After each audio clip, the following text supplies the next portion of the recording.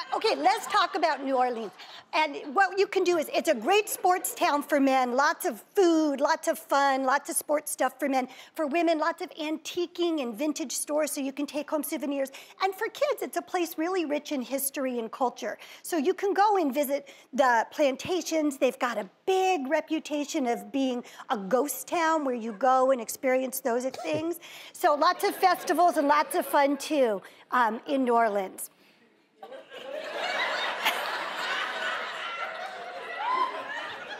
Okay, and the next destination No, that no, we're going to talk to- about.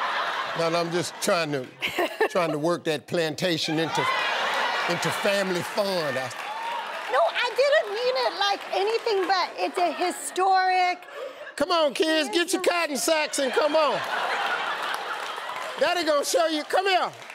Shut up. Stop crying. Pick up them sacks and come on.